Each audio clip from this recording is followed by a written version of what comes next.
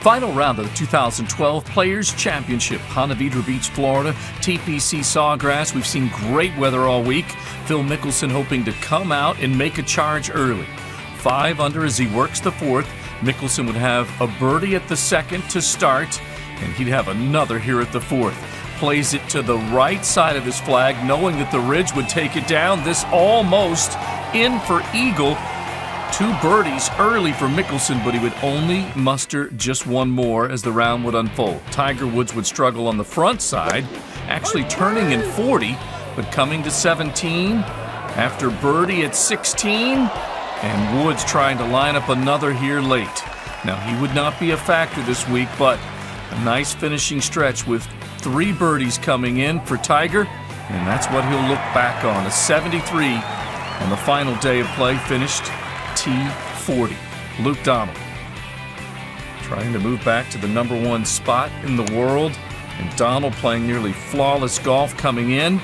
Three birdies to start the back nine at 10, 11, and 12, and looking for another here at 17. Flag bending back towards the back portion of the green, and that would finish inside of five feet. Donald would have his birdie, six birdies on the back half to get to nine under. He was the first to post that total. Ben Curtis with a birdie at 12, and Curtis looking for one of his best finishes here, a four under day. Rickie Fowler, this at 17. Look at the fans in the background when Fowler hits this one.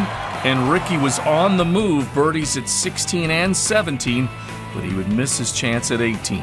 Zach Johnson, this at 14, and Zach, just like Rickie Fowler, climbing up the leaderboard both into a share of second, right. alongside Martin Laird.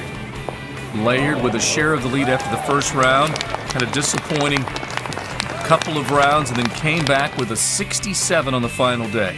So Laird got to the clubhouse at 11 under par, but at this point, Matt Kuchar had the lead at 12 under, make it 13 under with a birdie at the par 4 12, and then on to 16 with all the chance of Cooch on the back half of the golf course. He hits a huge putt. Birdie there gives him a three shot lead, but he would give a shot back at 17. Not to worry though. Two putts and a par at the last, and the fans there to welcome him along with his family on Mother's Day as Matt Kuchar wins the Players' Championship. Join us on Thursday, opening round of the HP Byron Nelson Championship, noon Eastern on Sirius XM PGA Tour Radio, 3 p.m. on Golf Channel.